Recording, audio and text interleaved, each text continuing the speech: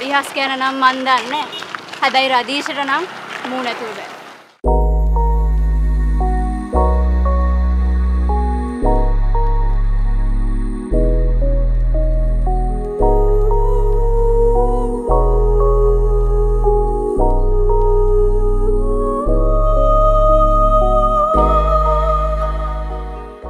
විදුර මොනා හරි කියලාද තුෂි යන්නන්නේ?